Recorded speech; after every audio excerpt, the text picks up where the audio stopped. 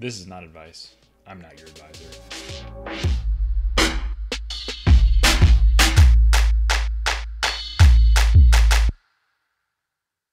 Still got some scotch, so let's keep going. Understanding 401k contributions and early payouts. I've been full time at my current company for almost two years now. You hope to be out of this place sometime soon using your degree. You're doing some reading, you're trying to understand them. Your company's changing brokers, and they're auto enrolling you. Your employer says your employer matches up to 4% of your eligible compensation. When you contribute, okay, so they give you 2% if you put in 4%. Yeah, you should definitely get this.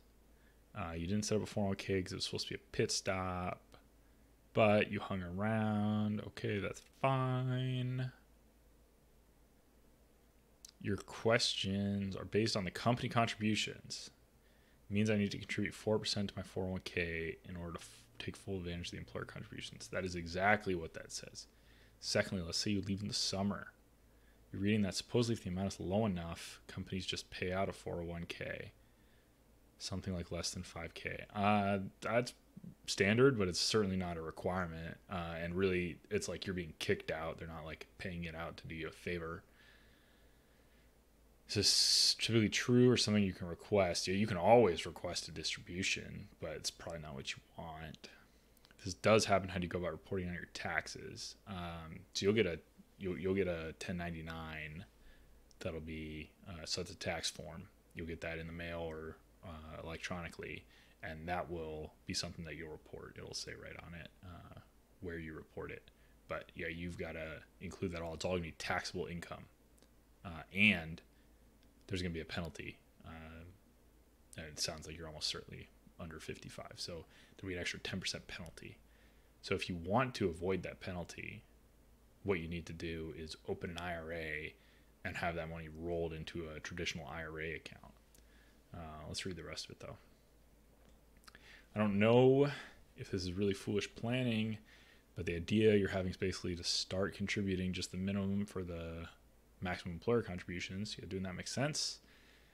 Leave the company and then cash out the 401k. As possible, you're not even going to get matched this year if uh, if you don't stay for the whole year. Just so you know. You expect the amount to be well under 5K, but enough to be significant for you in the short term.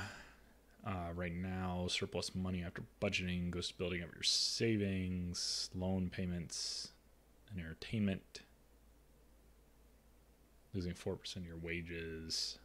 Yeah, it depends how they do the match. Some places do the match like every single pay period. You see it go in. Um, some places don't do it to the end of the year, and I'm not sure if you'd be entitled to it if you don't stay for the entire year.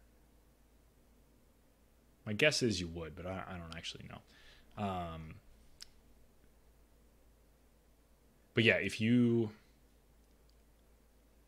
if you're going to spend the money and you're going to get the match, it's better to put the 4% away, get the 2% match, pull it out and spend it than it would be to never put any in. But if you could, it's probably better to put the 4% in, get the 2% match, and keep it in an IRA. I mean, if you got some really high cost debt, maybe that's not actually a better option. Maybe you should take it out to pay the debt. Um, I don't know. You'll have to feel it out. Take, taking money out early and then paying taxes on it and the 10% penalty, it's pretty inefficient. But uh, you should get the match. You want to get the match, even if you're going to get it out and pay the penalties. The the free two percent match uh, is going to make up for the for the extra cost. Too much income for an IRA. That's a good problem to have. 26, you're making around 150. You got a 401k through your employer, which you max out. Nice job. You were gonna set up an IRA, but it looks like you're making too much. Yep. Unless you set up a backdoor IRA. You don't really set up a backdoor IRA. You, well, neither here nor there. I get what you're saying seems a little complicated and you don't want to screw yourself. It is a little complicated. It's not that hard, but it's a little complicated. What's your best course of action? It's just sitting in a checking account. Can I do a Roth 401k in addition to your employee 401k? No, No, you cannot. Um, 401ks are subject to the same limits. You can only do one or the other. Um, yeah, I mean, might be worth your time to figure out the backdoor Roth IRA, but if you don't want to do that, you can just open a brokerage account anywhere. Um, you know, the big brokerage firms are Charles Schwab, Fidelity, Vanguard. There's also like a Wealthfront Betterment if you want to have it do the investing for you. And you just open a taxable brokerage account. You probably want to do some research to understand the tax ramifications. So every time you're getting dividends or realizing gains, those are going to be taxable, which is different from retirement accounts. But yeah, that's the thing to set up. Um, I wouldn't fall for anyone trying to like sell you a life insurance policy or anything like that. Gifting a non relative college tuition assistance. Strategies. That's nice of you. I want to financially help an 18 year old freshman who's not your son with his college costs. Is he your daughter? No, I'm just kidding. Uh, not a huge amount, maybe $1,000 a year. He's a great kid and putting himself through college. You want to support him a little. Should I just give him a check? Or are there any other strategies that would be tax beneficial to you? Uh, you're not doing it for the tax benefits, but there are some you might as well utilize them. Totally agree. Are there any tax concerns for him as well? Uh, no and no. There is nothing you can do that's beneficial to you when you're gifting. Well, I'm going to walk that back in a second. You're not going to get any deductions for it. You only get those for gifting charities. Um, he's not going to have any tax concerns either. The one thing you could do is a little complicated, so maybe you don't want to do it. Giving a check would be fine. It'd be you're not giving up a lot. But if you got some appreciated property, like let's say you got some stock that's gone up, you own a few shares of Apple in a taxable account, just brokerage account. You could take a thousand dollars of that appreciated stock, maybe it's three or four shares of Apple, give it to him. Don't sell it. Give the shares to him he gets the shares. He sells the shares.